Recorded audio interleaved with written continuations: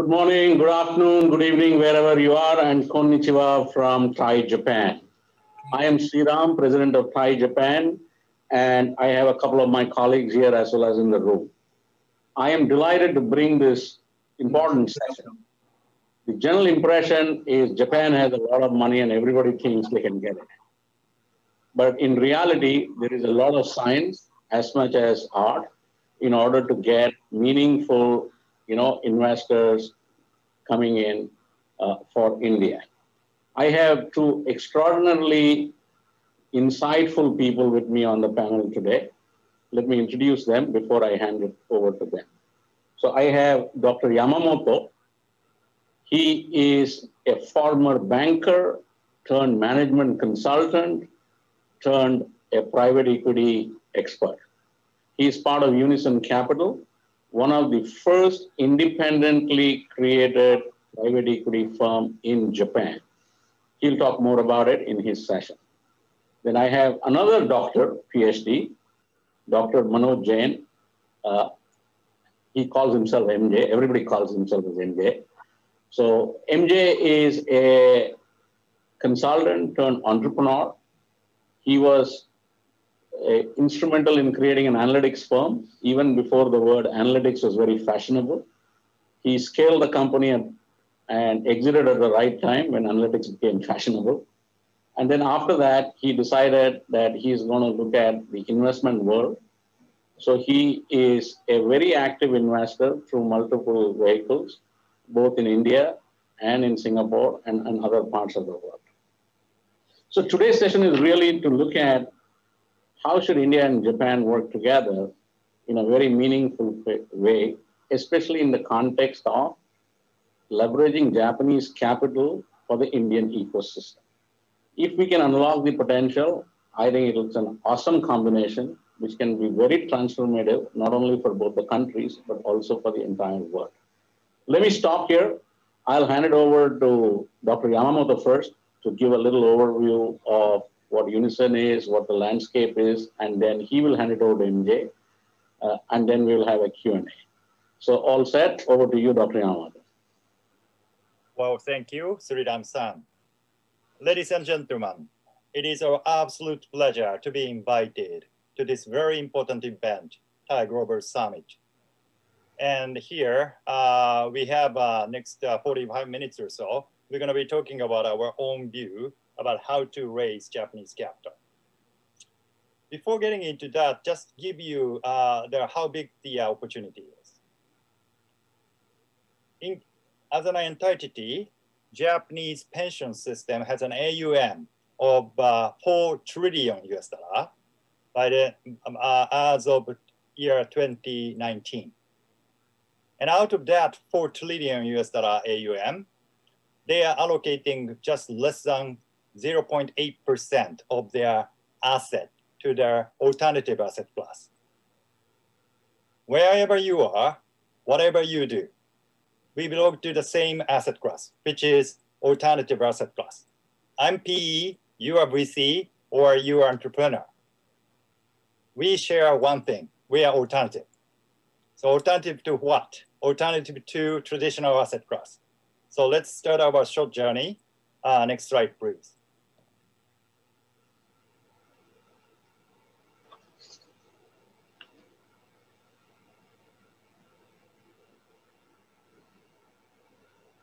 MJ, can you go full screen? Thank you. So uh, before starting the journey, uh, you know, the, the little bit of the credential of ourselves. Uh, uh we are from Unison Capital, uh, which is as uh, Sriram-san so kindly introduced. Uh, we are one of the first private equity firm, independent, based in Japan and later in Korea. up to this point, we have made 42 investment and 26 existed. And as a, as a fund, uh, we have, uh, we have uh, free exited from uh, three uh, Japanese private equity funds. we have 10 partners, including myself. we have a cumulative, you know, many years of investment experience together. We have uh, uh, firm-wide, we have 41 investment professionals, 22 in Tokyo and 19 in Seoul office. And our next target is India. Next slide, please.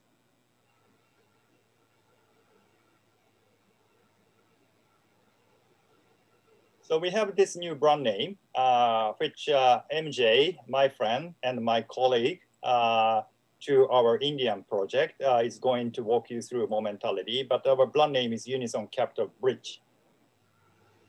Why Bridge? It's clear, as Sriram explained. Uh, you, India, has tons of opportunities.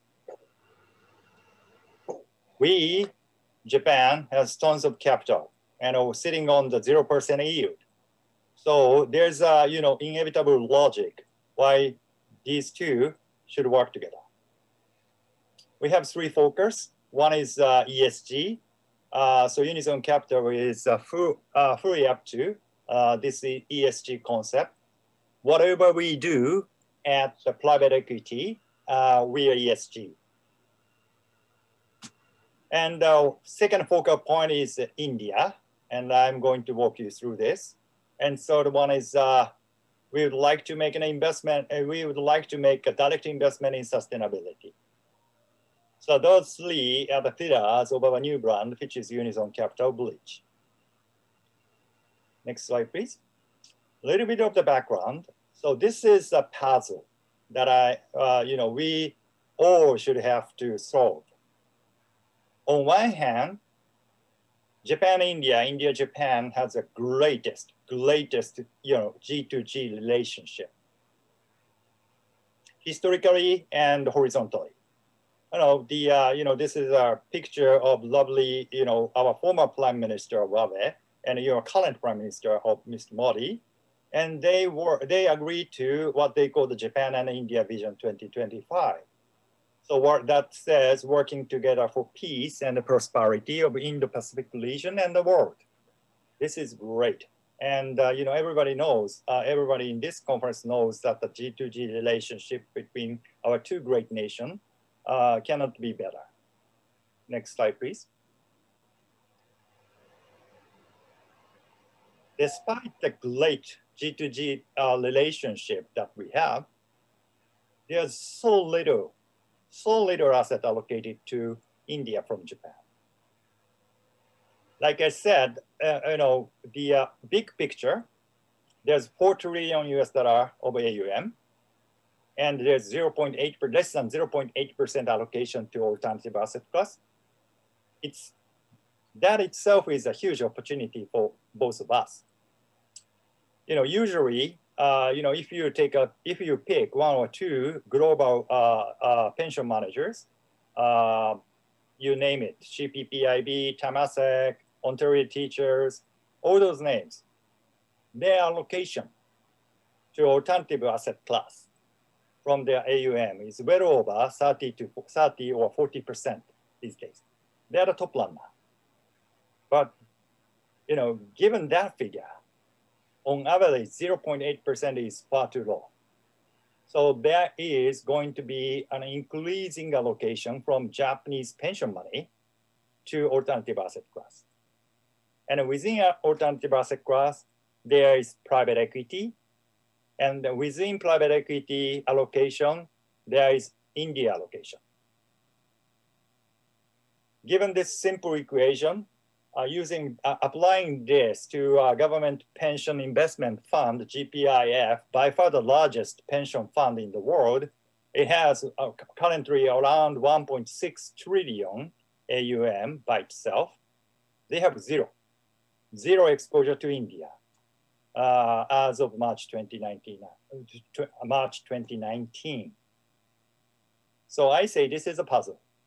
You know, our relationship our two great nations has a you know almost best best uh, best and ever uh, you know great relationship between the two, but nevertheless, our pension do not seems to be so much into uh, Indian exposure.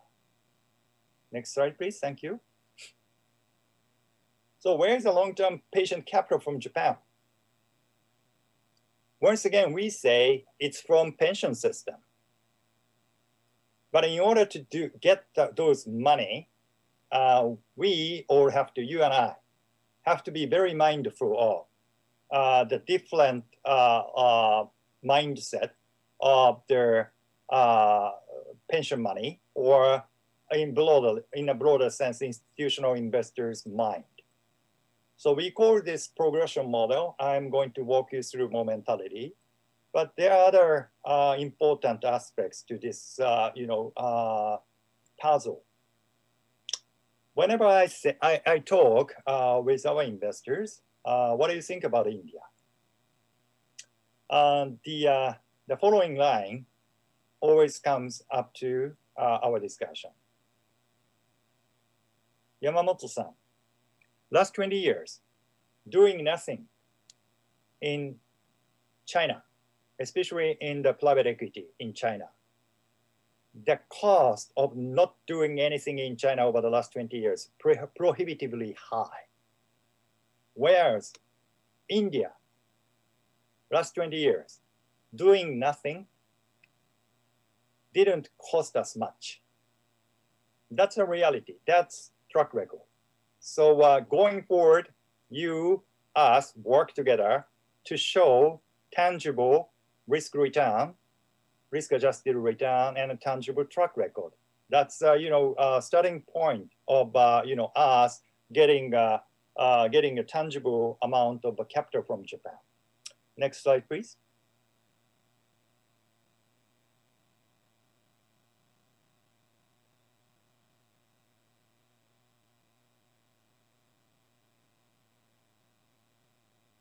Thank you.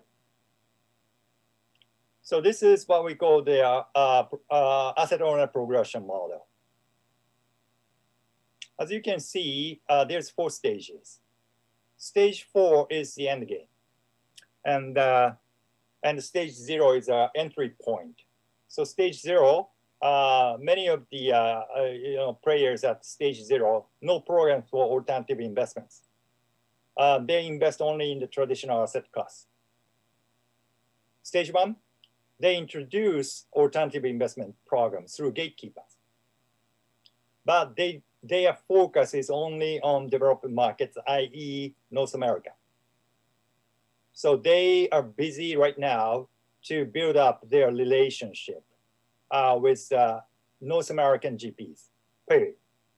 Stage two, they expanded the internal team and uh, they have now stage two player now has a co-investment capacity. And also uh, they start looking at uh, you know Asia Pacific and the rest of the world. We call that AP slash ROW. That's India too. So uh, the stage two player is the, on, uh, the starting point uh, for you to have a meaningful conversation about Indian exposure, whatever shape and form. Stage three they progress further and a further extension, uh, expansion of internal team. At stage three, they don't have a dis, uh, you know distinction between public equity and private equity. It's just equity, and public debt and uh, private debt. It's just debt. And also, they have now have direct GP selection capacity, i.e., they don't need gatekeepers. And of course, they have full geographic diversification. And stage four is the end game. At this, uh, at this juncture, uh, the LP is not LP anymore. They're more like a GP. And they have uh, the capacity to formulate a new JV with other major GPs. And they have full geographic diversification as well.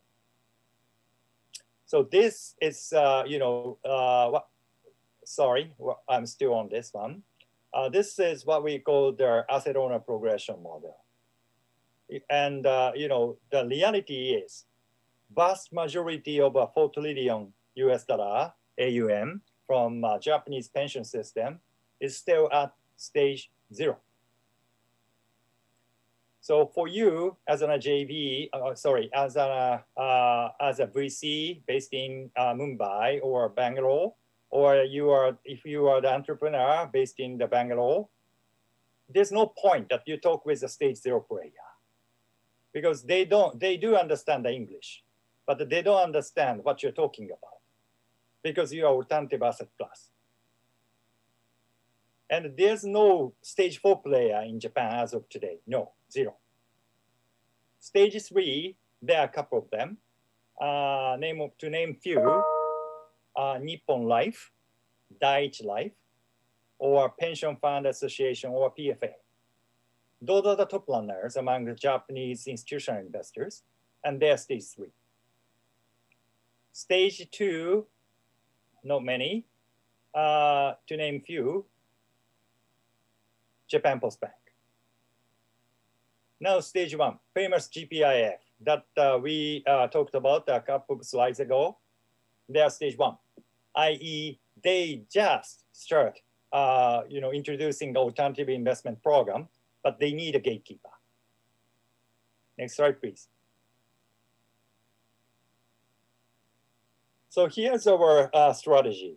So uh, for Indian market, from the viewpoint of stage one and stage two player, they need the platform. Because as I as we explained to you, they don't have a capability of selecting the right GP by themselves. They need somebody to pick up the right GPs. And Indian PE market, if you talk about, you know, they say there are more than 470 GPs as of uh, 2020 year end. That's a gigantic number. So you have to have your own curator, if you will, uh, to walk you through the Indian PE market. By PE, I mean everything. early stage, growth capital, and buyout.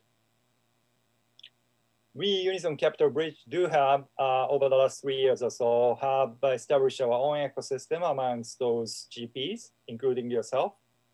And we are also uh, expanding our relationship with LPs there. And, uh, you know, that uh, gives us another level of confidence about the future of Indian private equity market. It will deliver next 10 years. We are very, uh, uh, you know, certain about that. But our job is to let Japanese colleagues to understand why that is the case. Next slide, please.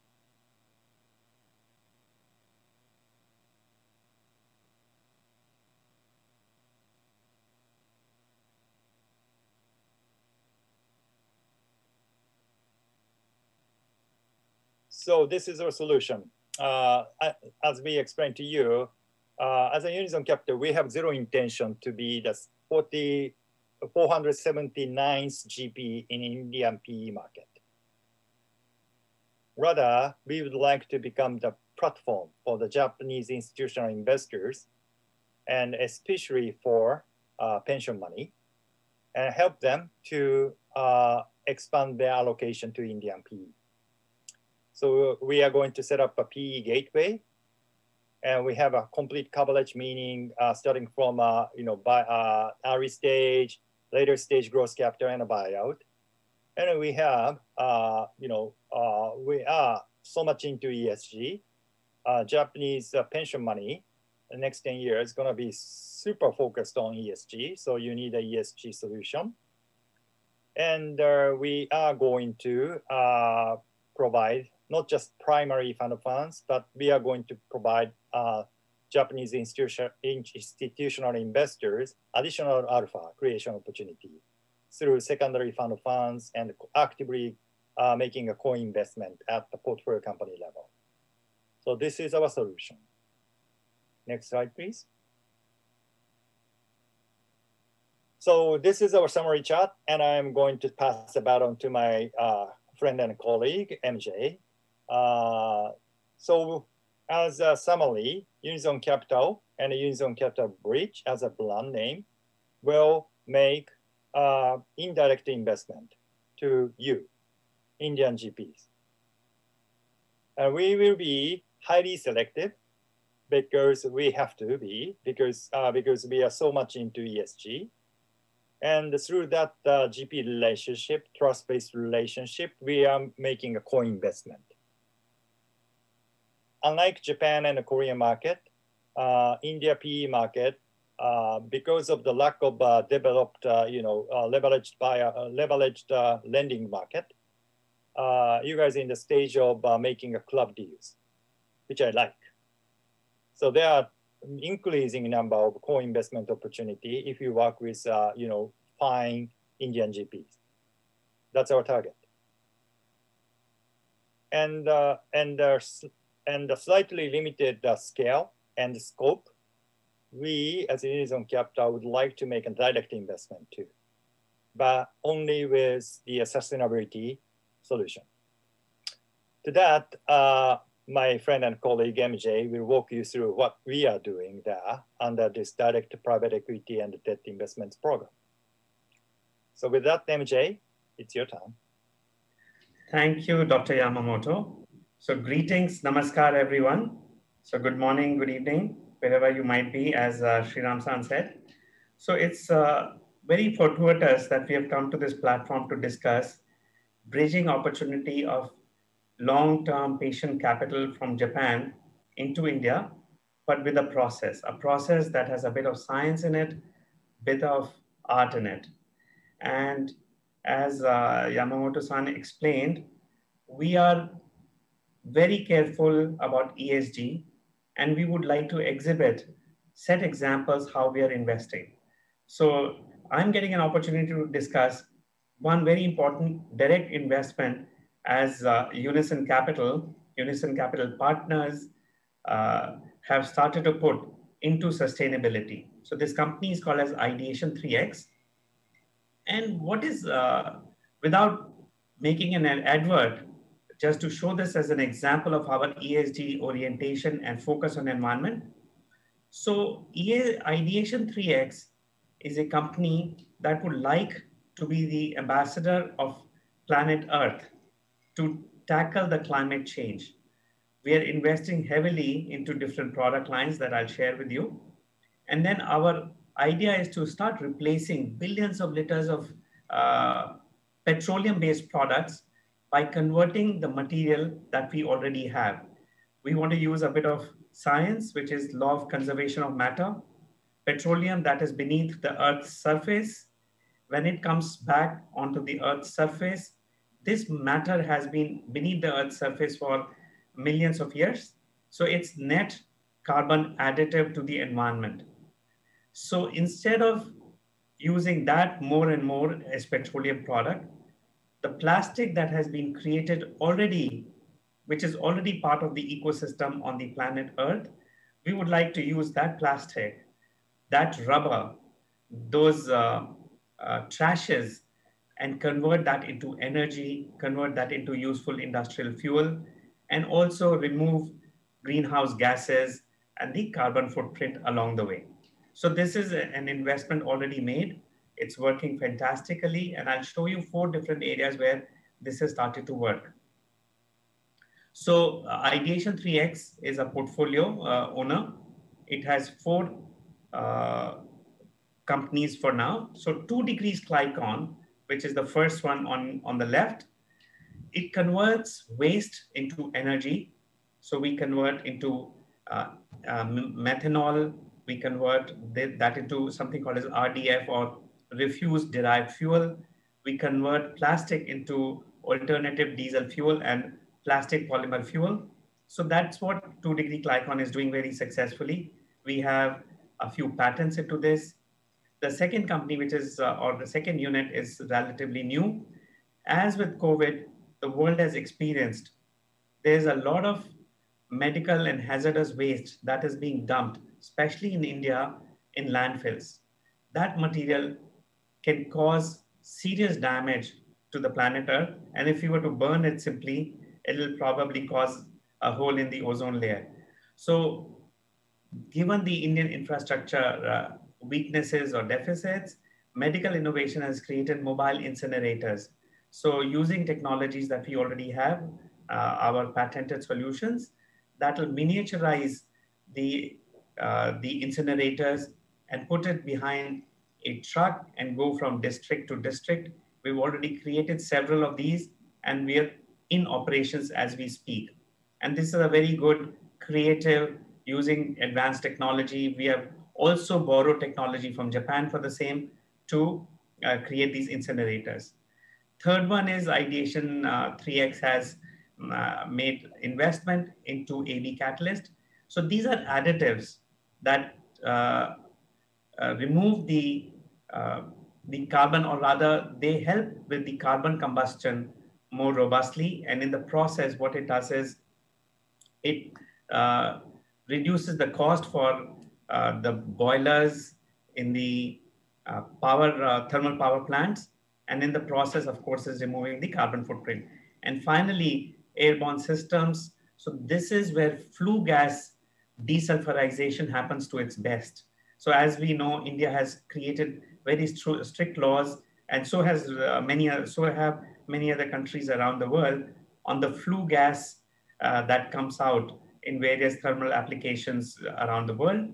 And airborne system can convert these flue gases through a process, which is a black box IP, in which again, Airborne system has patents to useful fertilizers and other products. So again, this is to show how careful UCB, the Unison Capital Environment is to care for the environment and they have made direct investment into Ideation 3X. So thanks for uh, listening to this. We are very fired up and it completes the product cycle to us. We are in India building GP relationships. We are making co-investments and we are making direct investment into companies. So with that, uh, thank you again uh, for listening. So on Ideation 3, 3X, I don't want to go through this. This is a proper company. It has many patents and whatnot. So over to you, Sriram San, for any questions or comments that uh, our audience may have. Thank you.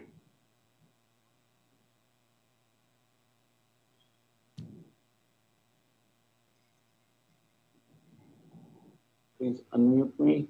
Okay, there you go. Thank you, MJ. Uh, while we are waiting for questions from the audience, maybe you can take off the slides. Uh, can you can you close the share, MJ? Thank you. So let me uh, start with this ESG. You know, you people, both of you are PhDs. You guys are so smart. You know the latest and the bestest. I can understand why you would do it. But for a for a you know, average investor, if I may use that word, when they think about India from Japan, ESG is not necessarily the first thing that comes to their mind.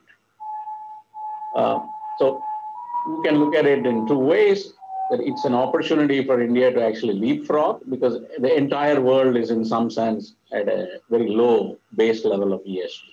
Would you look at it like that, or do you see that as an additional hurdle to be crossed before going to the investors? I mean, I'm happy to take answers from both of you. Dr. Yamamoto? Thank you, Sriram Sam.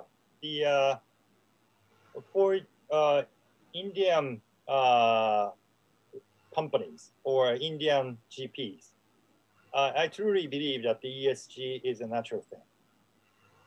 I, I think it's already incorporated, whatever you do at this juncture.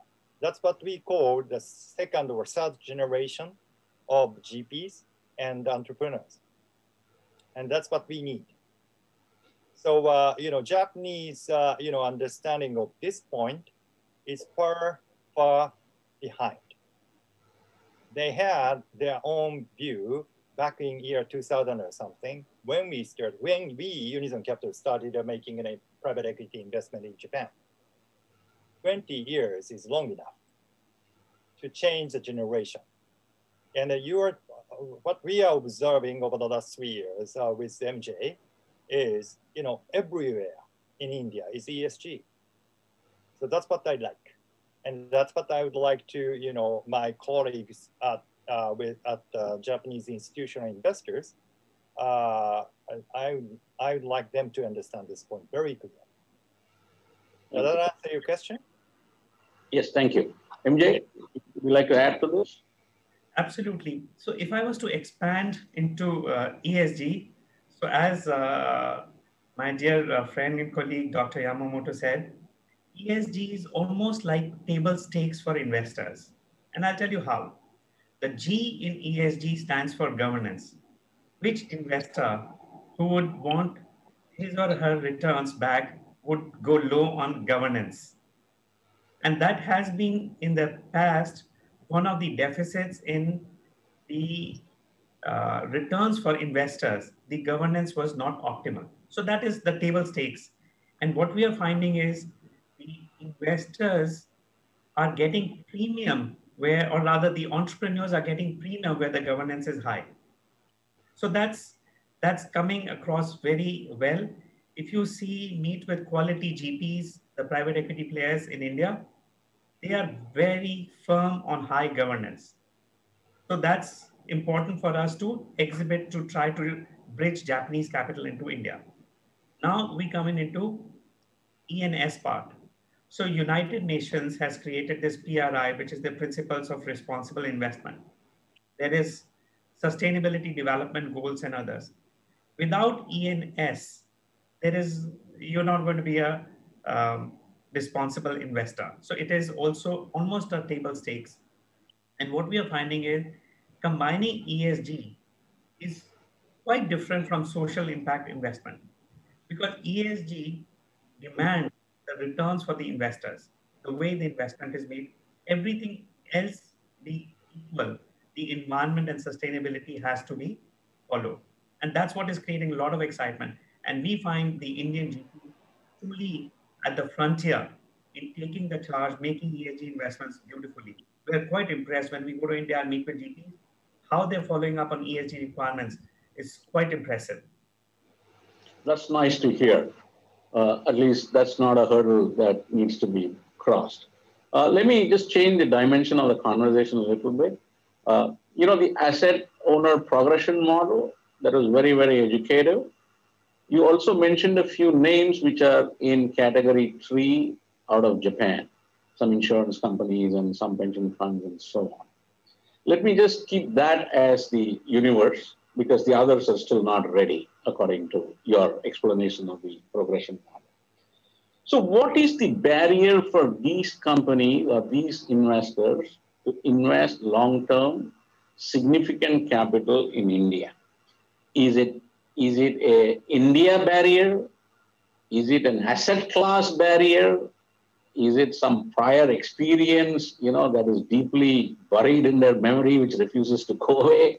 What really is the reason for these category three players uh, in your asset progression model not to make a big, bold move vis-a-vis India? Dr. Yamamoto? Thank you for the great question.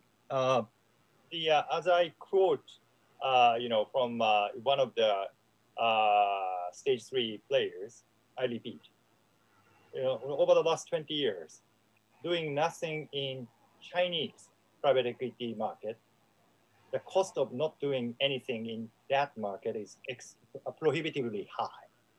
I.e., you got to be there, right? Uh, and it's pure return thing. Stage three player, uh, they only uh, the only thing that matters is return, risk adjusted, risk adjusted return for that company. Whereas India over the last 20 years, uh, as an asset class, Indian private equity it's a series of disappointment, okay, in terms of uh, returns, risk-adjusted returns. When I tell this uh, to my Indian colleagues, they got upset. Look, Osama, he has a track record.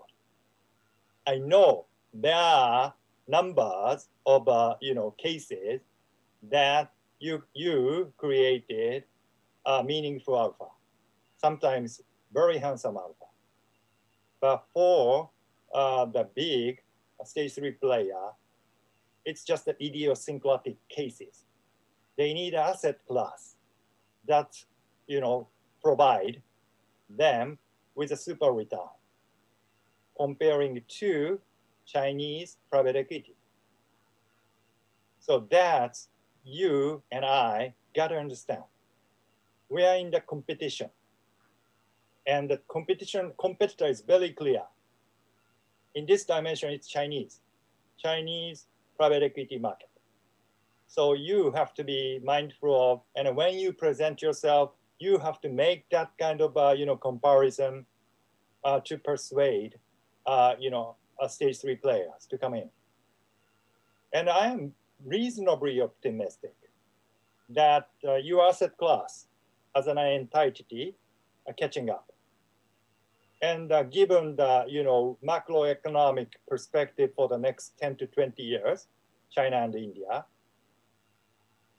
you guys are in the you guys in a better position. So uh, you have to concentrate on creating uh, you know super risk adjusted return and always mindful of your constant comparison with the Chinese market. Let me stop here. Thank you. That's very helpful. Uh, just a small follow-up. Uh, would you say that the Indian private equity asset class is maturing? Uh, it's becoming a little more uh, stable and maturing as compared to what it was, say, 10 years ago, 15 years ago. Uh, would that be a good statement to make, a correct statement to make? So uh, it depends on how how you define the maturing part, right? And uh, much if you say the maturing part is uh, creating uh, you know better adjusted return, I'd say not yet. It's okay. just the beginning of uh, getting into that phase, I would argue. But if you say maturing means you know tons of uh, failure and tons of tears and the learning experience from that, if you call that the maturing, then you are, yes. There are tons of, uh, you know, uh, previous lessons that, that can be learned, uh, both in investment and both in fundraising. So that means you have tons of, uh, you know, materials that you can learn and it make your, you know, the uh, practice better. So if you call that whole ecosystem as a maturing, then I would say yes, you are. Understood. Understood. Thank you. So, uh, you. To that also, one thing I might add, uh, uh, the ecosystem that uh, Dr. Yamamoto talked about.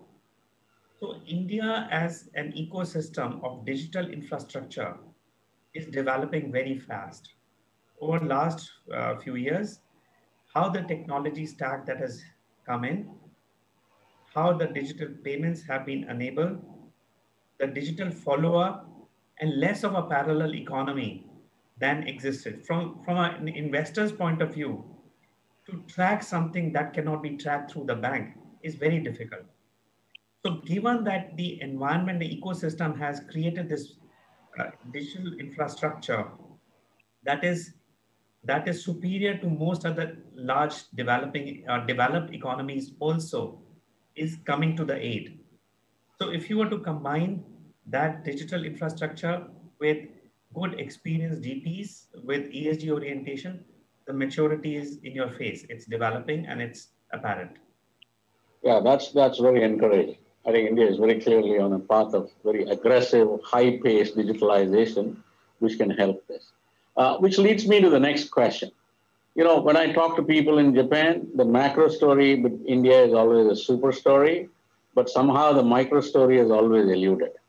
Would you say, MJ, given that you're in Singapore, you have, you know, multiple uh, investments in India, and obviously you're traveling, uh, would you say that the quality of opportunities at a micro level are getting better in the context of ESG, in the context of you know, the kind of uh, breakthrough stuff that people are attempting to do in India? Would you say that? And would that be a tempting opportunity for the Japanese long-term capital to come in? So I'll give a politically uh, incorrect answer here. So investors, when they come in, the entry price matters quite a bit. So Indian valuations from an investors coming in is still on the higher end. So the expectations of Indian entrepreneurs for investors is still very high. But in terms of opportunity, I've been an investor and researcher for more than two decades. And I can tell you, I've never seen this fantastic an opportunity set. But the entry price is high. That means the requirement for the, the expectations of investors of GPs and then their uh, in, uh, investees is exceptionally high. Otherwise, the risk adjusted return is not going to be adequate. Right. So, in the post corona world, uh, do you think things will be very different? Because suddenly there is a lot more focus on living healthily, living with nature in a proper way, you know, not creating excess and all of that. Do you think that will be a catalyst of some sort and change stuff? Because anyway, nobody can travel now. So distance is completely irrelevant. Uh, would you think that that will bridge uh, the Japanese side and the Indian side a little faster and better? How do you see that? So i am very curious also to know uh, uh, Yamamoto-san's answer, but my sense is when you used to speak about certain digital processes and digital uh, supply chains and uh, follow-up of businesses, I heard from many people, it's not going to be possible in India. And now COVID has changed that so dramatically.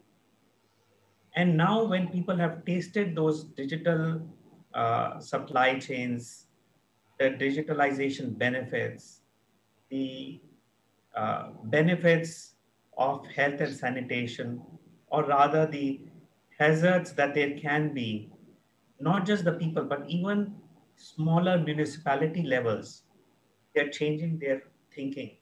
They're worried. I had never heard about uh, being an Indian, although I've lived in um, outside of India for uh, more than two decades, but I never heard of local population, local leaders ever talking about health and sanitation.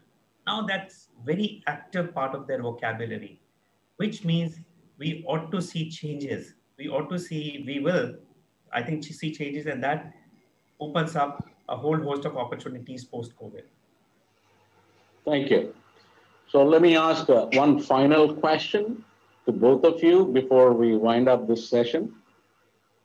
You know, as India continues to grow, as the entrepreneurial spirits continue to get unleashed in India, uh, there will be more and more requirement for capital, uh, not only in early stage, but right across the full cycle, Uh, all the way up to, you know, what I call as country projects, infrastructure, and so on and so forth. And all of that requires capital.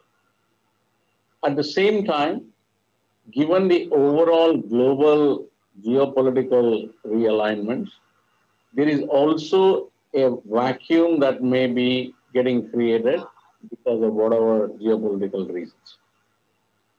Now, every GP in India, I am sure, is looking to raise money sooner or later. And they've all gone to the usual suspects, which is the Western world, the Australian pension funds, the Canadian pension funds, what have you, or the Middle East.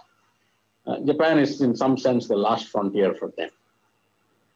Now, as experts, what is that one advice you would give to an Indian GP trying to raise money from Japan? Uh, I would I would request both of you to answer, and then we will close the session. Dr. Yamamoto. The simple one, work with us. okay. A joke aside, okay, it's, it's half joke, half serious, but joke aside, uh, you know, the uh, uh, let me combine this answer. It's not going to be a super short answer, but uh, combine your previous question. You know, post COVID, Japan is going to be sure. Uh, Japan is to be a, a, totally different place for two things. One is Japan's commitment to zero uh, carbon or carbon-free society by 2050. That commitment was non-existent before COVID. That's one. And second is, uh, as MJ so rightly covered, digitalization.